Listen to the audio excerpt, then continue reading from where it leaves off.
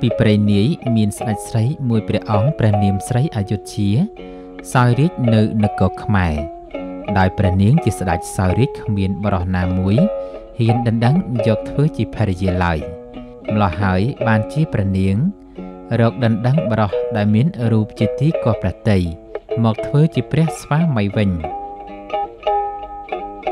ហើយដែលហេតុព្រះរាជិនីស្រីអយុធ្យាដណ្ដឹងប្រុសជាព្រះស្វាមីដូច្នេះ ស្រីស្រីដែលនៅក្រោមព្រះរាជឱវាទព្រះនាងក៏ដណ្ដឹងប្រុសប្រុសធ្វើជាស្វាមីតាមដែរក្នុងរជ្ជកាលនោះមុខគួរឲ្យវេទនានិងស្រីខ្លះដែលមានរូបអន់អន់ទៅរកដណ្ដឹងប្រុសប្រុសគេនាំគ្នាប្រកែកមិនយកគេរើសតែស្រីស្រីមានរូបល្អល្អ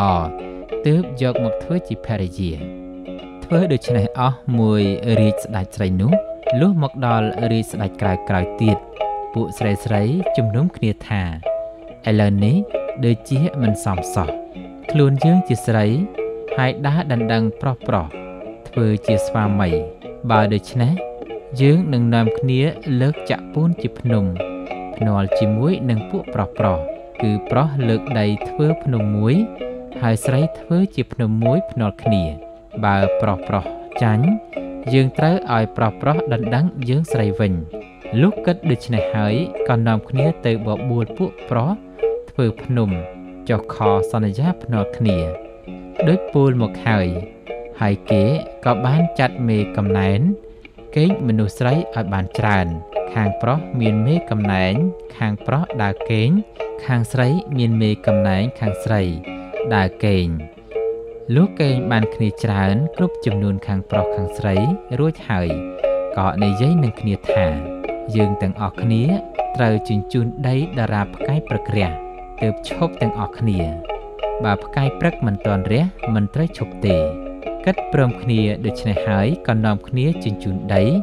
រែកទូលតាមកម្លាំងរៀងខ្លួនទៅពេលនោះជាពេលរាត្រី ពួកស្រីស្រីមានប្រាជ្ញា ជញ្ជូនដីអស់វេលា3ទៅ4ម៉ោងក៏នាំគ្នាបង្ហូតគោមតូចមួយយ៉ាងខ្ពស់នៅជ្រុងអេសានភ្នំពួកប្រុសប្រុសពួកប្រុសប្រុសក៏លេចមើលទៅឃើញគោម